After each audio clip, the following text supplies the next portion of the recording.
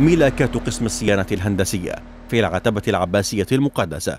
تواصل العمل في بناية مدرسة تثقيف الأولاد في محافظة كربلاء المقدسة والتي أقيمت على مساحة تقدر ب 400 متر مربع.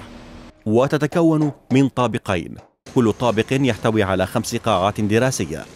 فالطابق الأرضي خصصت قاعاته للدراسة التثقيفية الخاصة بالأولاد.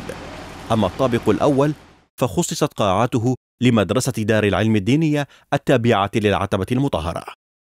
بعد توجيه الأمانة العامة التابعة للعتبة العباسية المقدسة إلى قسم الصيانة الهندسية باشرت كوادر قسم الصيانة الهندسية آه، المتكون من الكادر الهندسي والكادر الفني وجميع وحداته من الحدادة والكهرباء والتبريد ووحدة البناء بأعمال مشروع إنشاء مدرسة تثقيف الأولاد التابع لمدرسة دار العلم في العتبة العباسية.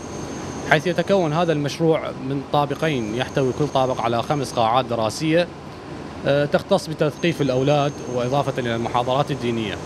تصاميم هندسية وفنية. صممت من قبل مختصين وفق المواصفات المطلوبة. إذ تم وضع خطة للعمل من خلال تجهيز البناية بأحدث المنظومات الخدمية كمنظومة الإنترنت والتبريد والإطفاء والتأسيسات الكهربائية.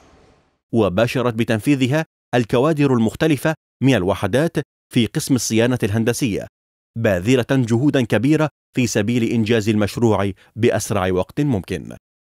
طبعا المشروع تنفذ كبداية يعني اختيار الأرض مثل ما تشوفون واختيار الموقع آه، بالإضافة للتصاميم آه، أعدت من قبل آه، الشعبة الهندسية النقاط الخارجية. طبعا المنظومات اللي جهزت لهذه البناية من ضمن المواصفات المطلوبة للبناية.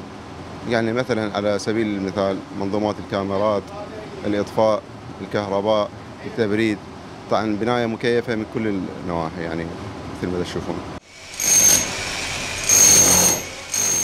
قسم الصيانة الهندسية في العتبة العباسية المقدسة له دور كبير في إنشاء وصيانة العديد من المرافق التابعة للعتبة المقدسة الخارجية منها والداخلية.